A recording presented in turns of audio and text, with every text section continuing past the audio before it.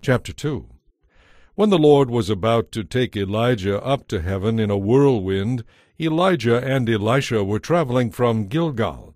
And Elijah said to Elisha, Stay here, for the Lord has told me to go to Bethel. But Elisha replied, As surely as the Lord lives, and you yourself live, I will never leave you. So they went on together to Bethel. The group of prophets from Bethel came to Elisha and asked him, Did you know that the Lord is going to take your master away from you today? Quiet! Elisha answered. Of course I know it. Then Elijah said to Elisha, Stay here, for the Lord has told me to go to Jericho. But Elisha replied again, As surely as the Lord lives, and you yourself live, I will never leave you. So they went on together to Jericho. Then the group of prophets from Jericho came to Elisha and asked him, Did you know that the Lord is going to take your master away from you today? Quiet! He answered again. Of course I know it. Then Elijah said to Elisha, Stay here, for the Lord has told me to go to the Jordan River. But again Elisha replied, As surely as the Lord lives, and you yourself live, I will never leave you. So they went on together.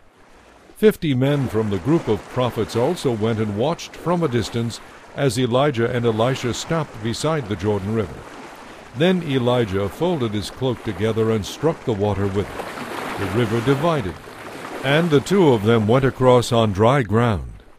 When they came to the other side, Elijah said to Elisha, What can I do for you before I am taken away? and Elisha replied, Please let me become your rightful successor. You have asked a difficult thing. Elijah replied, If you see me when I am taken from you, then you will get your request. But if not, then you won't. As they were walking along and talking, suddenly a chariot of fire appeared, drawn by horses of fire. It drove between them, separating them, and Elijah was carried by a whirlwind into heaven.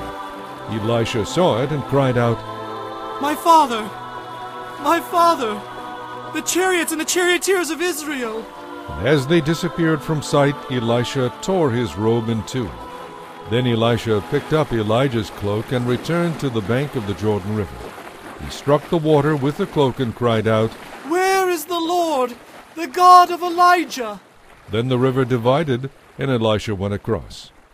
When the group of prophets from Jericho saw what happened, they exclaimed, Elisha has become Elijah's successor. and they went to meet him and bowed down before him. Sir, They said, just say the word, and fifty of our strongest men will search the wilderness for your master.